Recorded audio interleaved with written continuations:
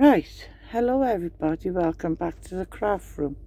I've taken the camera off the stand to show you this, my book folding carousel. I hope you can see, because it's awkward to film it up on the stand because it's too big. As you can see, I finished him. I mean, he's over 12 inches high, because there's 12 inches and he's taller than that. So I'm not really sure how tall he is.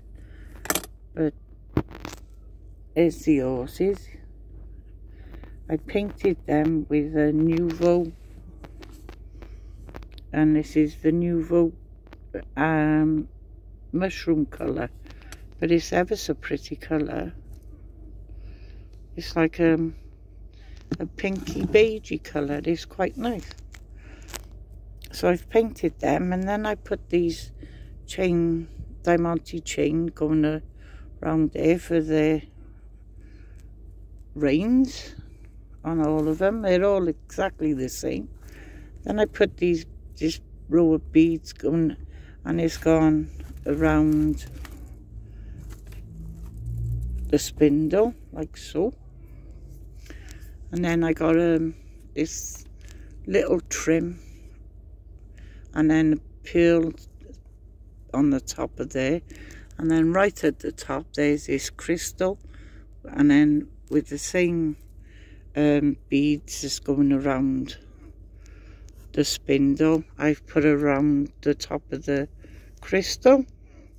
And I've put exactly the same lace going around the bottom. And I think it's gorgeous. I think it's come out really pretty and there is glitter going through the book. I've glittered him up and I've glittered the spindle and some of it parts still a bit damp with the glitter and there's still a bit glitters on the the base. And I think it have come out really really pretty. I'm really proud of myself because it's come out better than I thought it was going to come out so if anybody's interested in in this, please email me. Um, I'll leave my email address in the description box on the in below. And uh, yeah, so I and I hope you like this. And if you like it, please give me a thumbs up. And please leave me a comment. I love to read everybody's comments. And uh, thank you all for watching. Take care and I'll speak to you soon. So thank you all for watching. Take care. Bye.